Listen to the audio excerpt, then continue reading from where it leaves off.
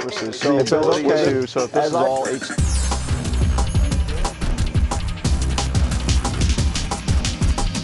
Hi, I'm George Crump, lead analyst with Storage Switzerland. Storage Switzerland is an analyst firm focused on the storage, virtualization, and cloud marketplaces. This is a series of ongoing videos or chalk talks that we're having uh, on various technologies affecting our industry. Today we're going to talk about sharing solid state storage. I'd like to thank the sponsor of today's video, Violin Memory Systems. So to share solid state storage, we really have three options today. Uh, we can put it into a legacy storage system. We uh, now have seen pure SSD or flash only uh, SSD systems come to market, uh, or we can use it in a memory array. Uh, so we'll talk about each one of these use cases and see which one makes the most sense. So, of course, we're going to have, if we're sharing, we're probably going to have a series of servers and they'll probably be on some form of storage network. And then they'll be ask, accessing some sort of disk system. Okay? That disk system, uh, let's say, for example, it's a legacy storage system, which obviously most people have. Most of the, the traditional storage vendors had, have come out with the option to add solid state to their existing storage arrays.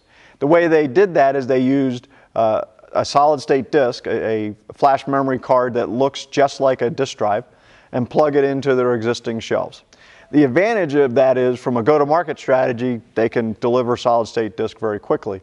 The downside is these systems weren't really designed to handle solid state storage. A disk has to rotate.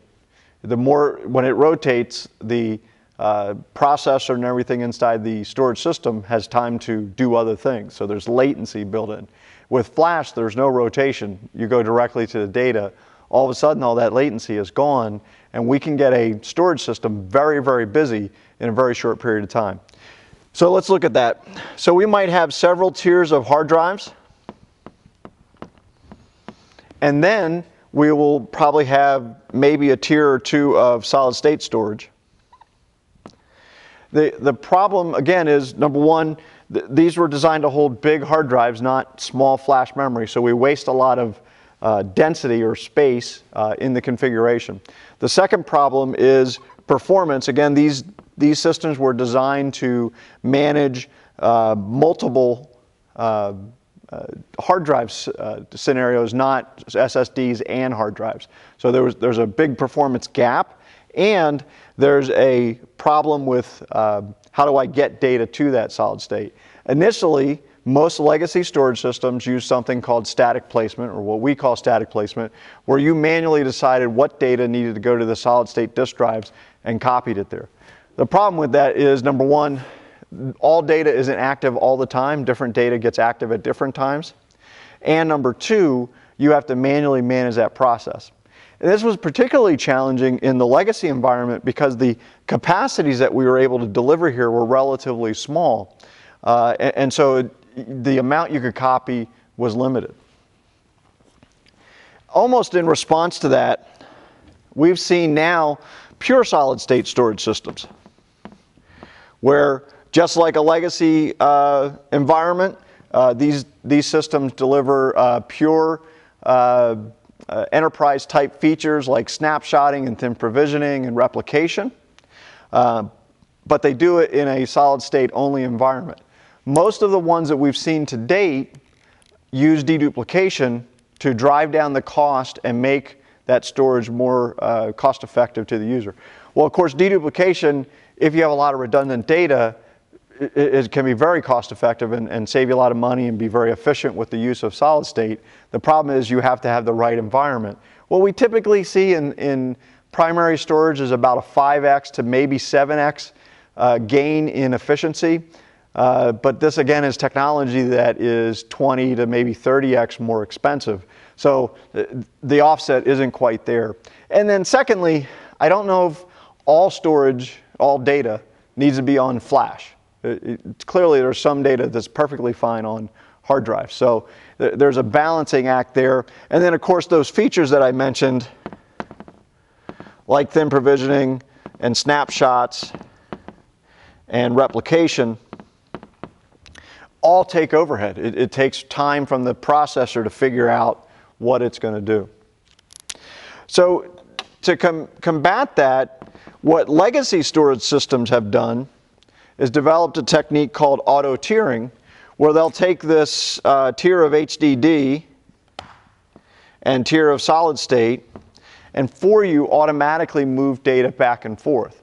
Uh, the problem with that is that's a lot of copying in and out. And number and on solid state, we're particularly concerned about uh, write cycles, so we don't want to blow through that solid state write cycle too quickly. And then number two, that again takes time. That, that, analysis process plus the amount of work it takes to copy it from the hard drive up to solid state and from the solid state back down to the hard drive, that takes uh, time and overhead. So again, we may not achieve total performance. There are a class of boxes out there uh, called memory array or memory appliances, and these are solid state storage only devices with very thin software, meaning they don't have some of the enterprise ish features like thin provisioning and snapshots and replications, um, but they are designed really to give performance. And so as a result, they are focused solely on that task. They don't have the overhead of all the other systems. Plus, they have the performance capabilities typically to render all the performance capabilities out of the box. So their services tend to, like I said, not be focused on replication and thin provisioning and things like that, but focus much, much more on flash management. So making sure wear leveling is handled correctly, making sure garbage collection is done efficiently, all those sort of features. Probably the most important feature, other than, of course, achieving maximum performance out of flash memory, is that these appliances are much more dense in their packaging, meaning they can take advantage of the fact that memory was never designed to go into a uh, hard drive form factor. It's more of a, a, a, DIMM slot or a module. And so they can uh, fit a lot more capacity into a much, much smaller space.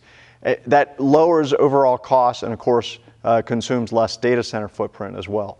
So that's, that's a really big feature. So the question you may ask yourself, though, is okay, how do I use a memory array type of solution and still get my data services that I like. Because you might want snapshots and replication and maybe thin provisioning. So, how do you get those features and still be able to use a memory array, array type of uh, unit? Well, the answer is actually quite simple.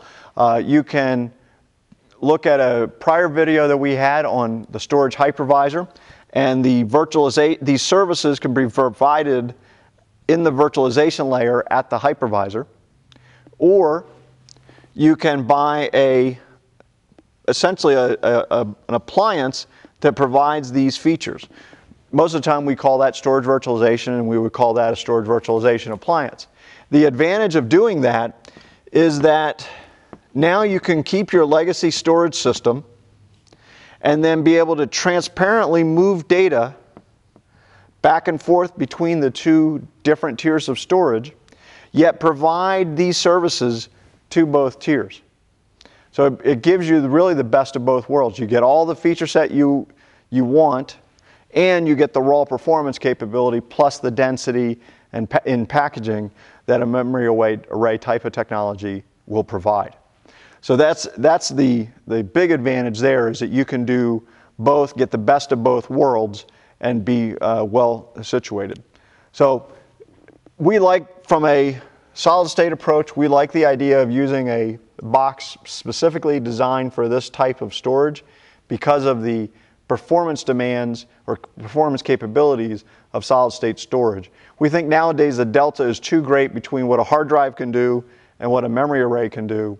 And so you're better to have those in separate boxes with separate I/O channels. And if you need the management capabilities, go ahead and get a virtualization appliance or virtualize at the hypervisor to uh, get those services. Thank you for tuning in. I'd also like to thank our sponsor, Violin Memory Systems, for sponsoring this video. I'm George Crump, lead analyst with Storage Switzerland. Have a great day.